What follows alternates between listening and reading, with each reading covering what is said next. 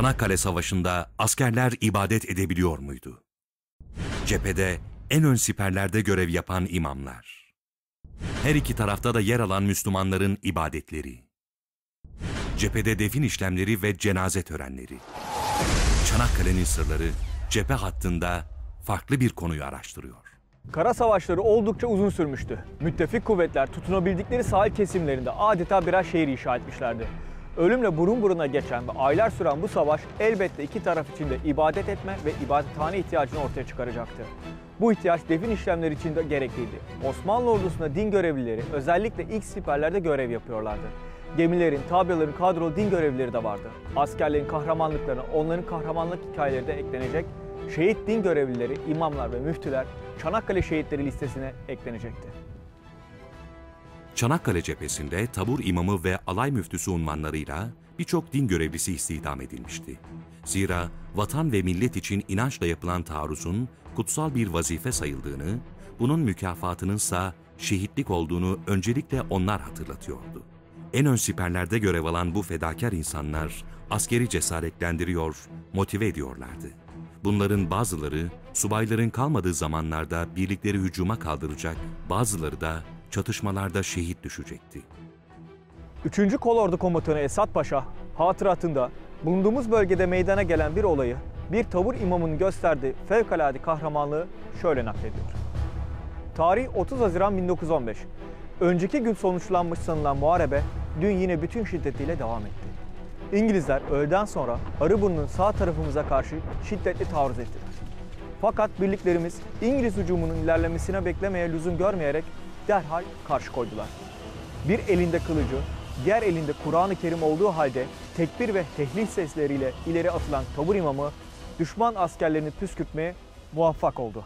Çanakkale cephesinde tabur imamları, alay imamları ve alay müftüleri vardı. Sürekli askerlerin yanındaydı.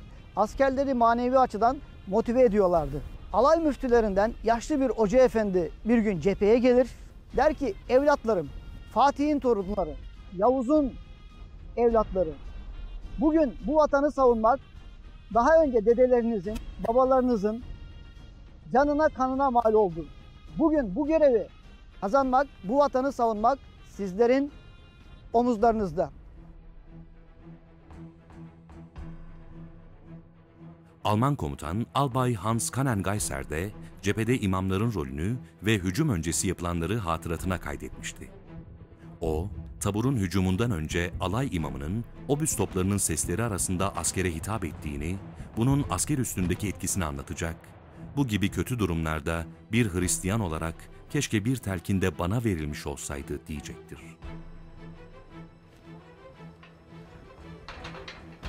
Müttefik kuvvetler bombardımanda sivil yerleşim birimleri ve ibadethaneleri ayırmıyordu. Çanakkale Savaşı sırasında keşif uçakları ve balonlarla yapılan yer tespitlerinde cami minareleri belirleyici oluyordu. Bu nedenle Gelibolu Yarımadası pek çok cami minaresi birden fazla renge boyanarak gizlenmeye, kamufle edilmeye çalışılmıştı. Savaşta bombalanan yerler arasında Süleyman Paşa Türbesi de vardı. Oysa bu türbenin çatışma bölgesine uzaklığı 50 kilometreydi.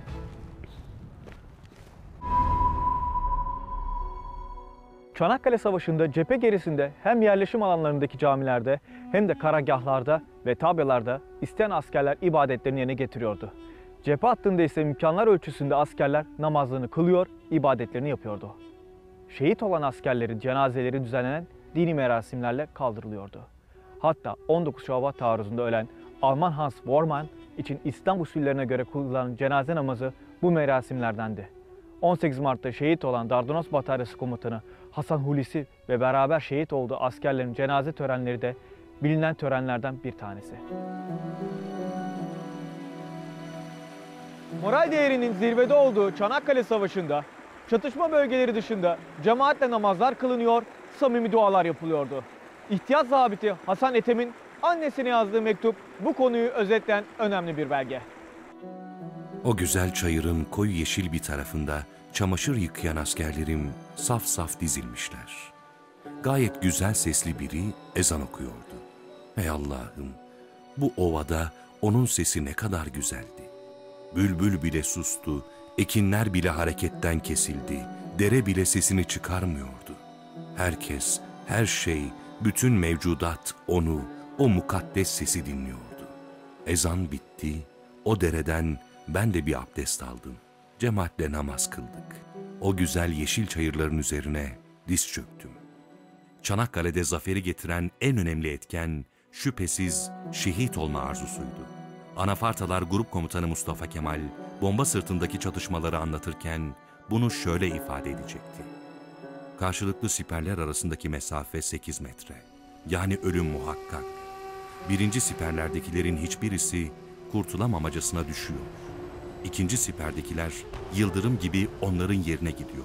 Fakat ne kadar imrenilecek bir soğukkanlılık ve tevekkülle biliyor musunuz? Bomba, şarapnel, kurşun yağmuru altında öleni görüyor. Üç dakikaya kadar öleceğini biliyor ve en ufak bir çekinme bile göstermiyor. Sarsılma yok. Okuma bilenler Kur'an-ı Kerim okuyor ve cennete gitmeye hazırlanıyor. Bilmeyenlerse kelime-i şehadet getiriyor ve ezan okuyarak yürüyorlar.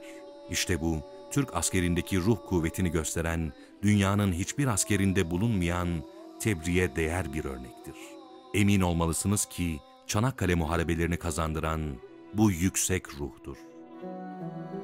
Çanakkale Savaşı'nda Osmanlı askerleri yüksek moral motivasyonla ibadetlerini ellerinden geldiğince yaptılar.